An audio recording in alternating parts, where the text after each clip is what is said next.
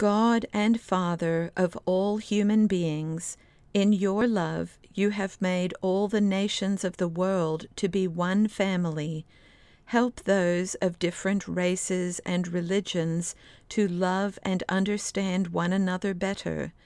Take away hatred, jealousy, and prejudice, so that loving you more deeply, we may work together for the coming of your kingdom of righteousness and peace. We ask this through your Son, Jesus Christ our Lord. Amen.